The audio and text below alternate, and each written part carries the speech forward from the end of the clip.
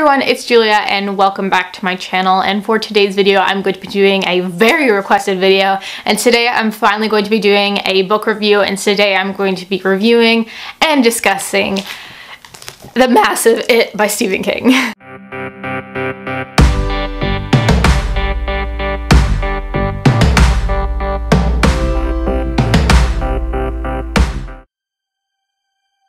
So basically, since my Stephen King book collection, everyone asked, where is it? I literally got comments daily. Where is it? Have you read it? Julia, read it. Julia, please do a review on it. Julia, are you seeing the movie It? Can you do a review on that too?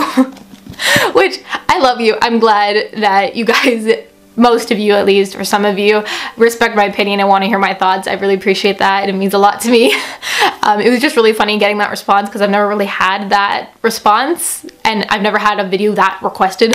So today we're going to be talking about it. I already did see the film. I have my movie review linked when it goes live somewhere down below probably instead of on the screen because down below, down below. Let's talk about the book. I liked it. It was good. I'm happy with it. End of video, done. no, um, so for the book, it comes out, I'm so proud that I finished this book. And as you can see, I'm very hyped because I was sitting here for 40 minutes filming my movie reviews. So I'm a little like, oh my God, I need to do something else. But I do have to film this. So this was massive. This is by far the biggest book I've ever read it's claimed that award. It's um, the scariest book I've ever read. I don't get scared from books, but this was like the creepiest book I've ever read. Or yeah, yeah. Like I wasn't terrified. It's not giving me nightmares, but like I don't get scared that easy. um, so yeah, but it was the scariest king I've ever read and it was the scariest book that I've ever read. And it's the biggest book I've ever read, so it's claimed a lot of uh, prizes, awards. Uh. So yeah, I tabbed it like crazy. We'll go over um, my color coding system because I'm sure you all care about my color coding system. So basically I wanted to heavily tab, shh, I wanted to heavily, I wanted to heavily tab this book so I can, you know, you know, it's just my thing. Um, so blue was for characters, which I used a lot. Just details about the characters I wanted to note or just some lines about the characters that I really loved, some characters that I really loved, things like that. Orange was for themes, which I recorded a lot of themes. There's a lot of important topics in this book such as um, abuse is a topic, there's obviously a topic of fear and there's just so many topics that this book explores which I really like seeing. Um, yellow is for quotes that I just liked and I wanted to note so yes Green, there was only a few of them, but that was for references. So any references that I saw to other Stephen King books, I noted in it. And last but not least, pink was for any Pennywise moments or any moments that were like something that Pennywise did or something that was a con like something that, you know, just anything Pennywise related, I mostly tabbed it. So those are my tabs. Talk about it. So if you don't know, it, um, I just went into it knowing that it that it, it, oh my god, how many times am I to say it in this video? Um, I just went into it knowing that it is, went into this book knowing that it's about a clown and that it's supposed to be really scary. That's all I knew. That's all I knew. I kind of suggest going into it that way but I knew it received so much praise and I knew it was a lot of people's favorite King book, which has definitely made it into my top three for sure. Um, if you do want to know more, I will say right now that this book is about a clown named Pennywise who comes back every 27 years to make cause chaos in the town of Derry, Maine, which is a small town. And there's these group of friends, they're called like the Losers, which I love them all. I think their gang is perfect. Like if you like books like The Outsiders or that movie what's it called? The one with river phoenix um, where they're like a group of friends and you can really see their bond and their relationship. It was like that and it was really good. But they're the group called the losers and they experience some things with this clown and they um, constantly hear about kids going missing and all these things happening and they try to investigate and that's all we know. And then fast forward 27 years later, they get contacted to go back to Derry to deal with it again because it's come back. And they made an oath when they were kids that if it ever came back they would go back to Derry to deal with the whole situation. So this book goes between past and present and it's really nice to see. We switch a lot between past and present. Like mid-sentence we're switching which it was a little bit at first it was tough to follow and definitely at times when it switched mid-sentence I was like oh my god so much um yeah but I definitely liked them when they were kids better that's just my opinion. Sometimes I like the adult point of view more, but most of the time I like the kid point of view. It was really just nice and you got to see their friendship. And yes, the characters in this book's 10 out of 10. I loved them. They were so fleshed out. In the book, the movie differs a little bit for me because I kind of have more favorites in the movie. Like, it changes a little bit. But in the book, my favorites were... Well, I love them all. But my favorites were Pennywise, of course, um, Bill, and of course Georgie too. But Bill and Richie I loved them so much. Henry was also became a favorite as like a villain point of view, not as like, oh my god, I love you. Um, Pennywise, let's talk about him. I think he was really well done. I think he was creepy. Um, definitely the film was a little bit more like it was scarier than the book that's personally because I do get more scared from films than books um, the films didn't terrify me but like there was some creepy scenes and same with the book there is some creepy scenes so if you're afraid of clowns Basically talking about Bill, he is like one of the first people we see.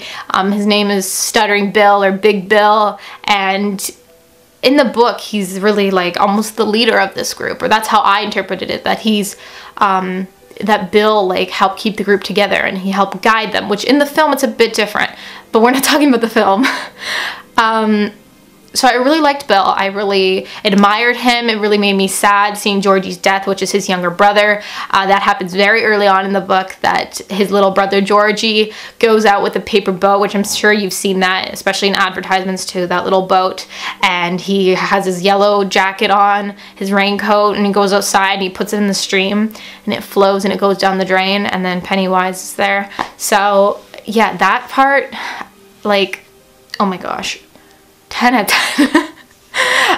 but the characters were great. Bill was one of my favorites. Richie added so much comic relief, especially in the film. We're not talking about the film.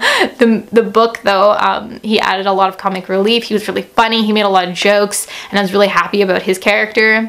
Stan was another one that I really liked. He's like the Jewish boy. They make a lot of like Jewish stereotypical jokes, which again, I could see how it pissed some people off, but I personally didn't take them seriously. That's just me. Um, I actually don't support any like things, but they're kids and they're like joking around. He's laughing too. Like they're like, oh, Jews make a lot of money. And then they all start laughing. They're just kids.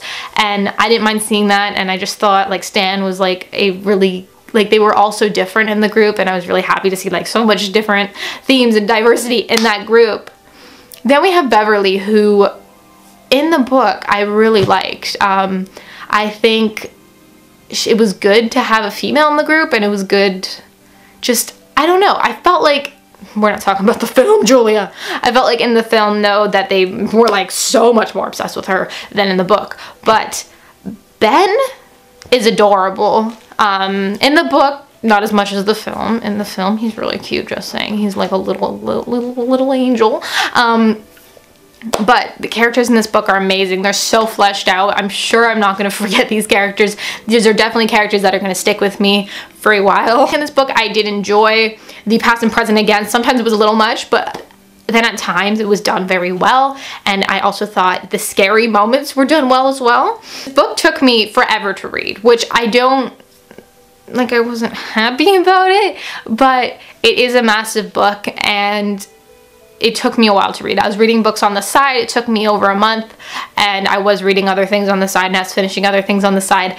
But um, I wish I just took a week and just read it. Just or two, three weeks, just read the whole thing, then spacing it out as much as I did.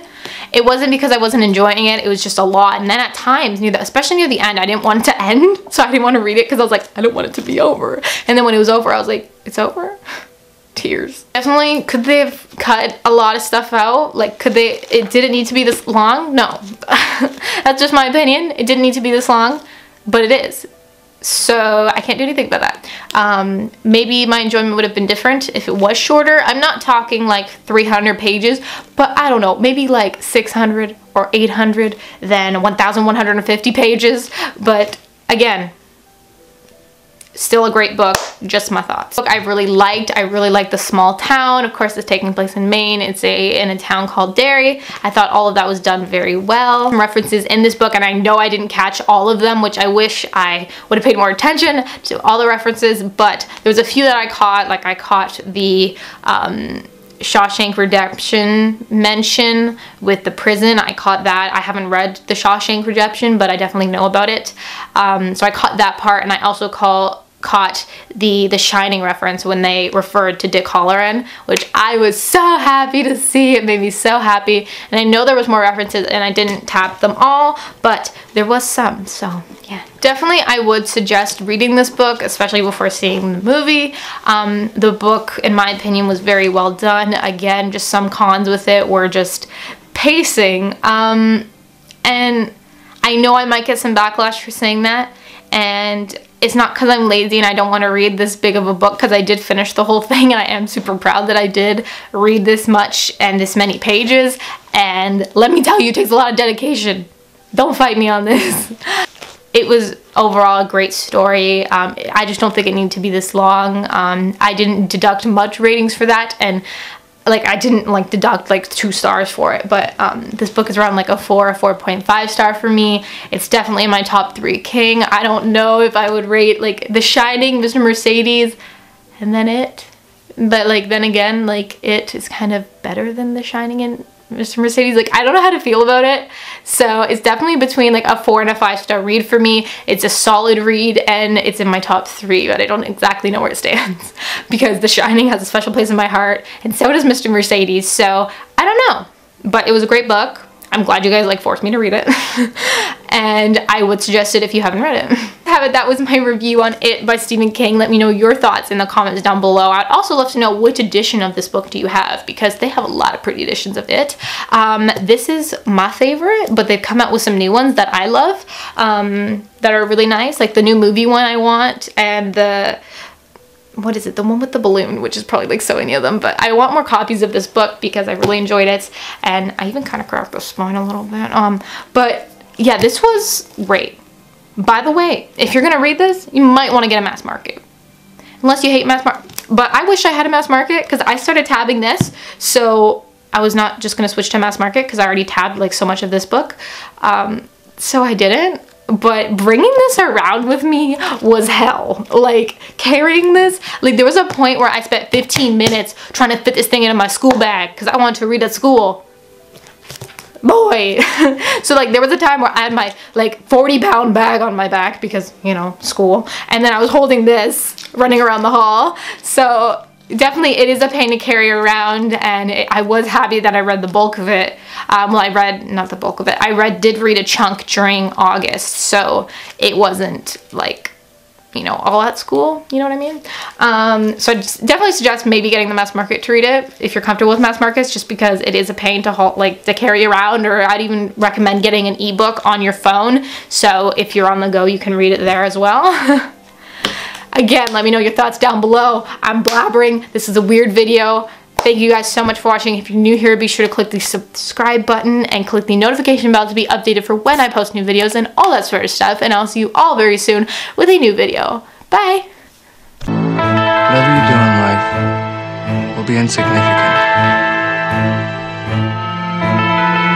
But it's very important that you do it.